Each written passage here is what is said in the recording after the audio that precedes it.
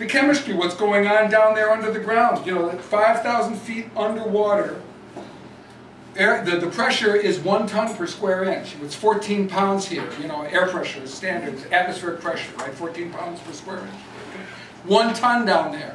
The gas doesn't escape from the oil like it does up here. It stays inside the oil, making a goopy mess, and then when the water gets in there, it actually starts to freeze all this nonsense. So then it moves along until it gets warmer, then it starts to come up to the surface. It's a nightmare from every point of view, completely unprepared for it. They even admit that.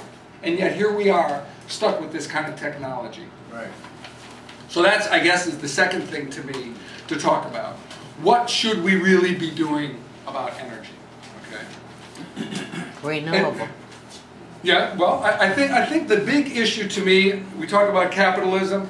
Clearly, the resources of society need to be in the hands of the majority. It means right. it needs to be taken out of the hands of this capitalism we've evolved to, which is a tiny, tiny little group of rich, very backward, very wealthy parasites who, mm-hmm. manage, who are trying to control all the wealth of the whole world, and that's how we end up with where we are. So we need to give the resources to all of humanity to hold those resources and, and work out together what we need to do. Right. On the engineering side, there's a whole movement of I would I would call much more radical engineering. Remember I mentioned that law before, the RCRA law about, about waste, and it's called the cradle to grave law. It says we, you own that waste from the moment you give, give it birth until you throw it away. And this new idea is cradle to cradle.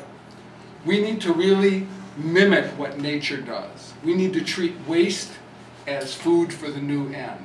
We need to take and, and view ourselves as being contributors to the health of the planet.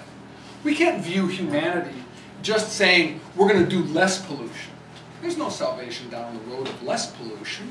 Right. There's only salvation down the road of us actually contributing as fellow creatures to the development and health of the planet, right? I mean, there's no other hope for this planet if we're not actually making a good contribution to things. And so that's the whole change in engineering. We, be, we build televisions with 400 chemicals in them. Very expensive chemicals, some of them. Small amounts of palladium and strontium and gold and all this. But we don't make it so we can get them out.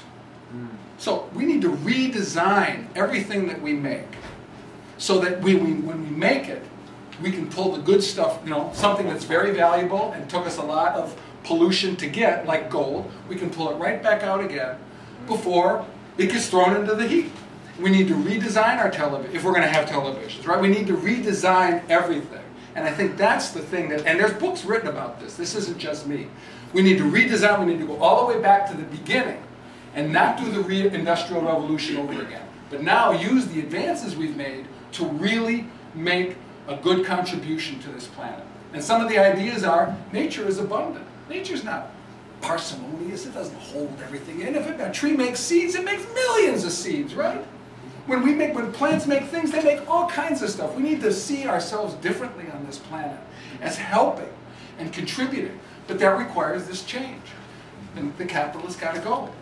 Right. right. We got to be in charge. And if we're in charge, then we can develop this engineering. Just one last thing, the Land Institute.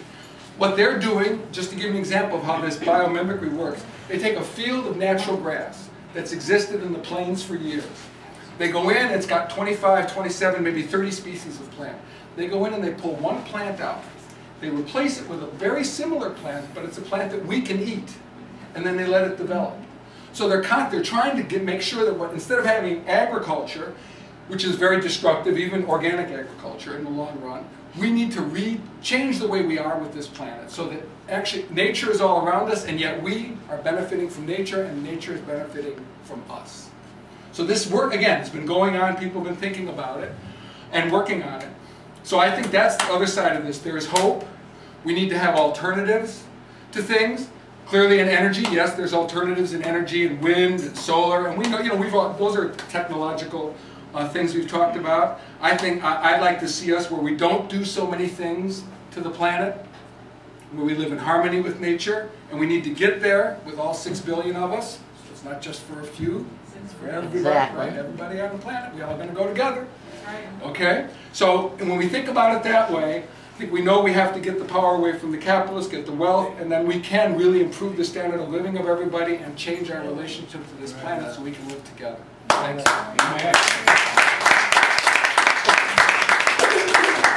last thing, I just wanted to hand out the Cochabamba declarations. People of indigenous peoples met and they talked about capitalism and how it hurts Mother Earth. And so I'm just, I made a copy of that and I'd just like to have everybody take a look at that and see. It's a very positive thing that came out of Evo Morales and the Bolivian government. Oh, and the Bolivian ambassador will be at the social forum on Saturday. Okay, thank you, Fred. So hopefully, um, the social forum will be, Okay, okay, there's- there's two each, there's two, two. the social forum, Fred, will it, will it have uh, workshops and things for more details on what you just, I hope so, just yeah, I spoke think, I about? think, yes, I think so. it all sounds real great. I mean, but we first gotta get rid of one thing. And that- that- and that's, that's gonna take some real fighting, boy. Physical, mental, everything. Okay, so, um, thank you, Fred, for that, for that, uh, very informative talk, and I wish you had even more details about it. Sounds really good. Yes. Um, and, um, maybe, maybe we'll attend, those who can attend the social forum, find those workshops, you know, if you're, if you're out and about during the day and, and, and, and, you know, sit in on them. You might, I guess you will hear some more, right, Fred? Mm-hmm. Okay, that's good.